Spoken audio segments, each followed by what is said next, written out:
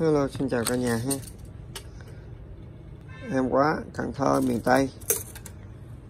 Nay em xin phép em lên sống em ờ, test con bếp từ ha. Test cơm IH.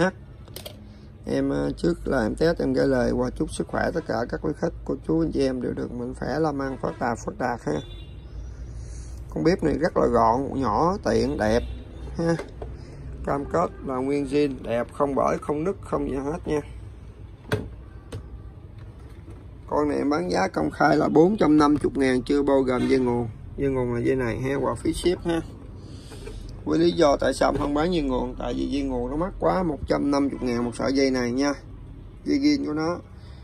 Nếu như quý khách mua thì cái bếp 450 sợi dây trăm rưỡi, nó 600 ngàn, nó ngán tiền đi. Nên em tính là em bán cái bếp không 450 rồi anh em cứ hỏi nó tại sao có 450 rồi lấy đâu xài thì em sẽ nói giờ em chế sợi dây điện giống như dây này nè. Em chế, em câu đây, em ghim điện trăm v xài bình thường ha. Nó không cộng, không có cộng dây ghim này thôi.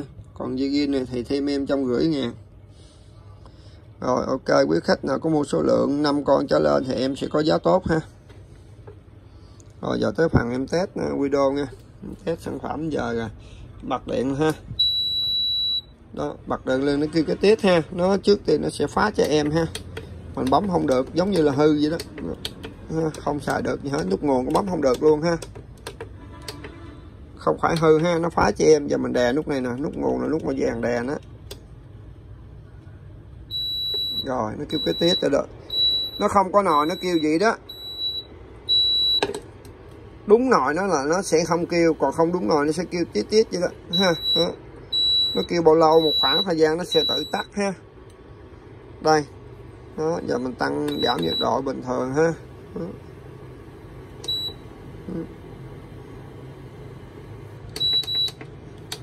rồi mình tắt ở bên đây là gì? À tắt lại luôn, phải đè lại. Bên này.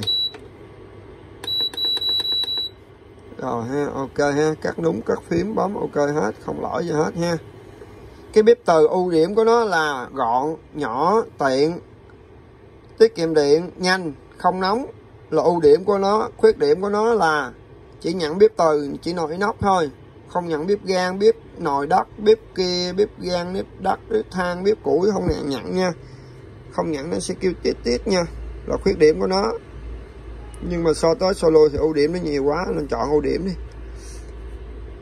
Cái này rất là tiết kiệm, một tiếng đồng hồ mà chạy maximum gì luôn là một ký điện nha ăn lẩu là một tiếng đồng hồ mình lúc đầu mình bắt này đi, nó sôi nè, mình giảm lửa lại. Là bảo đảm ăn một cái nồi lẩu 2 tiếng, cho du khách 3 tiếng.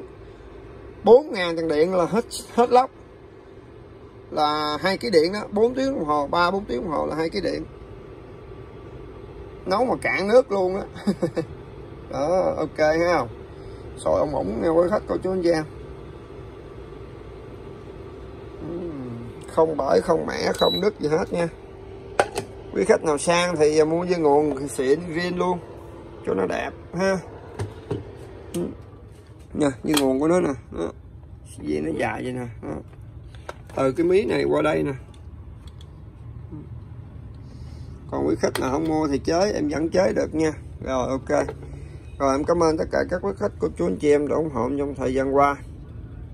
Dạ em xin cảm ơn và chào tạm biệt.